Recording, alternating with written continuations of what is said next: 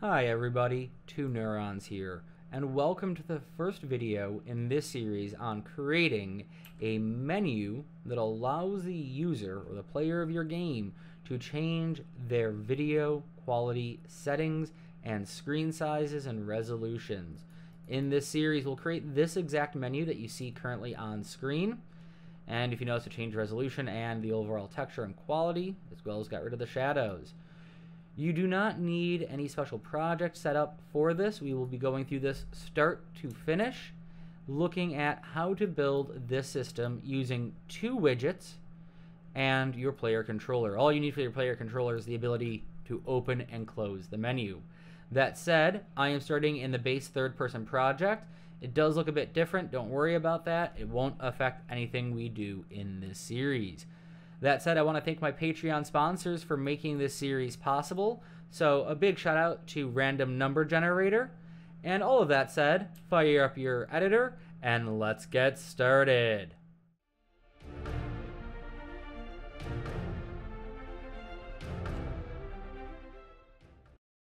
Hey everyone, welcome back to the editor. In this series of videos, we're going to create a settings for engine scalability menu so the player can change how detailed shadows are, what their resolution's at, if they're full screened or windowed. And the first part of this that we're going to take care of today is we are going to set up a part of the menu that we can reuse over and over again. So if we take a look at the engine scalability in our own editor under settings, engine scalability, we have them all listed here. Outside of view distance, they're all low, medium, high, epic, cinematic. We can ignore that last one. So instead of having to redo, say, a series of buttons that say low, medium, high, epic over and over again, I'm going to create a widget that covers just that portion. And then we will reuse that widget over and over again. So just to give a, another quick introduction what's going on, why this looks a bit weird. This is the normal third person template starter. All I did was make that wall shorter and extend the walkway out for the uh, simple targeting system video I did. But everything else is the same. It's the same player, so it's the same third person character.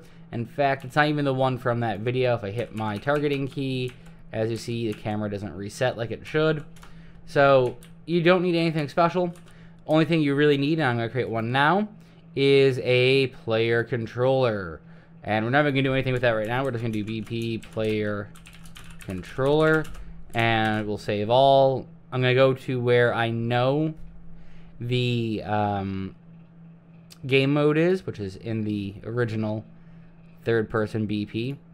I'm to pop that open. And I'm just going to change over my player controller class to my BP player controller.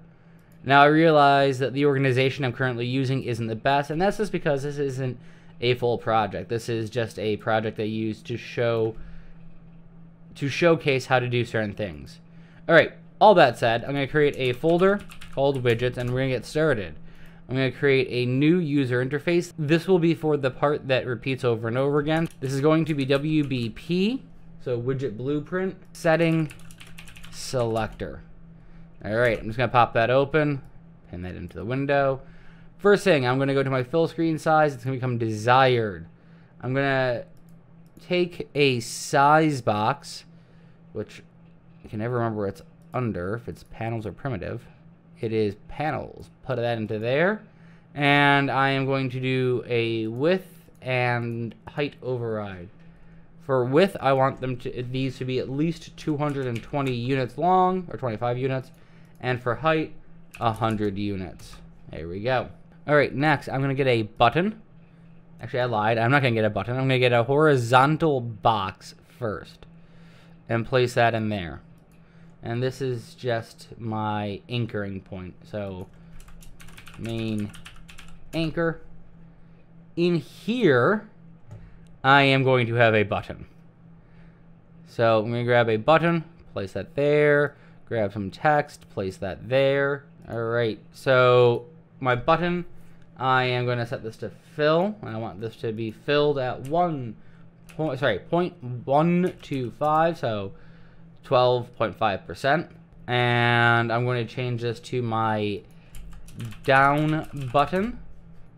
my text, I'm just going to put a caret or a bracket, pointed bracket, pointing to the left or the lesson sign, if you prefer that term.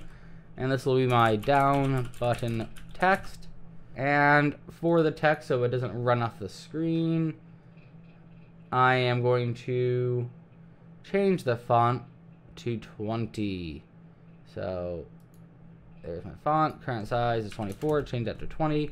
We'll do some other edits along the way. Don't worry about the shape of it just yet. I'm going to grab myself a spacer. Drop that spacer into the horizontal box. And I am going to change the padding so that on the right we have a padding of 5. Next, I'm going to grab another text widget to get rid of the text block. Oh, there it is. Never mind. And put that into the main anchor. All right. So this one is going to be my settings text. And I'm just going to use uh, curly brackets. Medium. Closing curly bracket. That's just so I know that that's going to be changed text, those brackets. All right, I am going to set this to fill as well. I'm going to fill 75%, so 0.75. I'm going to grab another spacer, and I'm going to drop that in right after. And this spacer, again, we're going to use a padding on the left-hand side, though, now this time, of 5. And finally, I'm just going to grab this button, and I'm going to duplicate it on the other side and all the fill is correct there. It's actually going to be up button. We're going to change this to the greater than sign or the closing bracket or the closing caret sign, and this will be up button text. Let me just undo that name. Hey, look how it changed text to uh, TXT. Cool. Up button text. All right. So that's what we're making today. Now, you can tell the size is clearly off. Let me grab the correct font, or correct text. Change that to 16. We'll center align it. Actually, let's put it towards the bottom there. There we go. Now, my question is size to content. There we go. And size it to content. Alright, so now that we sized the content, we have this appearing slightly nicer. Let's go back to our button. Let's go to the down button first and find the padding. And on the top, we're going to set this to 50. And on the top of the other button, we'll set this to 50. At, oop, that was the wrong part. We'll set that to 50 as well. Alright, there we go. We have our button the spacing at the top here, let me actually see if we can adjust that slightly. So if we change the height override to 50, and I get rid of that, there we go. Let's get rid of that padding and just change the height override. A little bit cleaner looking. So we have a button. It says our what our size will be, and then we have another button. So if we hit this, this will change to a lower value. We hit this, it will change to a higher value. So this will display what the setting is, and these will be how we change it. Let's go over to our graph now. And in our graph, we're going to just delete all of this to begin with. If we need anything from there, well, you can recreate them easily. So, we're going to create a new custom event. And this will be change value.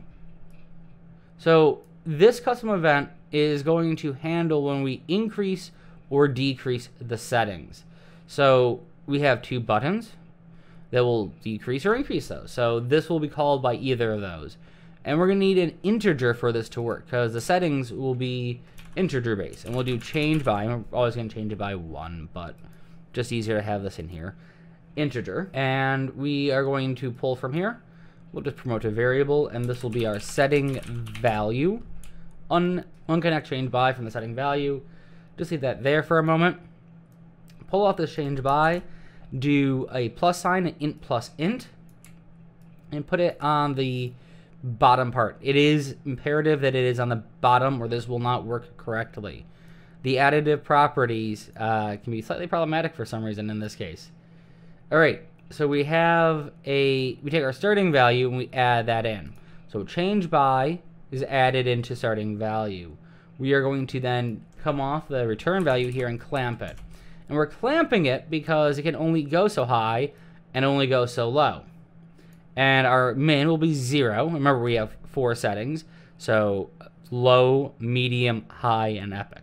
So if our minimum is zero, then our max must be three. So zero, one, two, three. That's four values right there. And we're going to take that return value and plug it into our settings value. All right, we'll then change the text. Ooh, that reminds me. Let's go back to our designer for a moment. Grab this text and select is variable. All right, in here, we're going to do a new custom event, and this will be set value text. So we have our settings text here. We're going to get it. We're going to pull off of it, and we are going to do set text, and then look for the one that says text. So set text text. Just drag that under there, pull off of here, promote this little pink text uh, variable to a value text, or to a variable and name it value text. There we go. And we're just going to leave that there for a moment. We have one intermediary step we need to do. And what we're going to do is we're going to grab our settings value. There we go. And we're going to pull off of this and we're going to do switch on int. So based on the value here, we're going to switch something up. And we're going to switch is what the value text is set as. And what we need here is five pins. So the first four should be obvious. Low, medium, high, um, epic. I don't know why I blinked on that for a moment. And then we need one, a special one, for our overall settings button. Remember, we have, if we go back here, go to our settings and look at this real quick we have all of these values that have the same thing except for view distance, which is far or near, medium, far. Uh, they all have this low, medium, high, epic. And then we have this one at the top, this overall quality one. Is it you change, you click here, it sets them all to epic. You change that, it is now a custom setting. So this is why we need that custom setting. So let's just set that back to epic for now. So that's what this extra one will be for. So we're going to take a, value text. We're going to get, oh, sorry, not get. We're going to set value text. Plug that into there. And just duplicate it down here. Plug that into there. Plug that into there. Keep going. And plug that into there. So we'll do low, medium, high, epic, and custom. All right, just quickly, I know this is not looking organized. Plug the switch into the set value text. Plug the low into the text setting there. Select the uh, switch on int and all the values collapse that down to a function, and this will be select text. All right, now we haven't finished our select text. We just, we're doing it in here and collapsing down. Now let's finish it out, go back in here, and we have one final step to take care of, and this is really easy. Pull off of, actually I'm gonna line these up based on their backs, that way do they line up a bit better. Pull off of here, do your return node, and then just put a reroute in if you want. I like having one and plug in all the others into that same return. Here we go.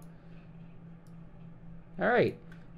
So, back in our event graph, what we're going to do now is we're going to call the set text value. So we'll do set value text. All right, so when we change a value, we either increase it or decrease it by what we put into here. We clamp that between 0 and 3, so that's four options. We set our value. We then uh, pick our text value based on that. And then we display the text here. Okay. So, let's take care of the two buttons. Let's do our down button since it's the first there. So, on clicked.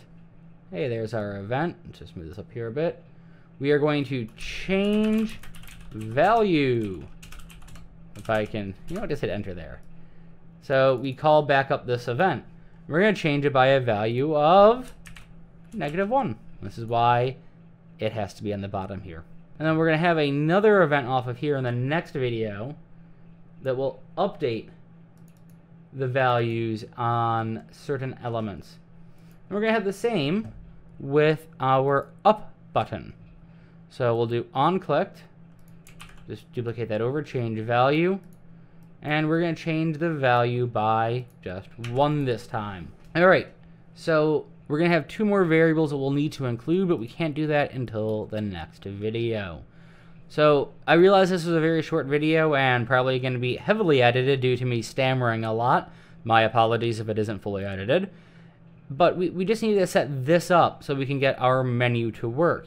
In the next video, we will actually take care of setting up our menu that we'll actually see the entire thing of. Alright, that said, a huge shout out to my Patreon sponsors. And thank you for being here. I hope to see you in the next video. And I hope that you have a wonderful day.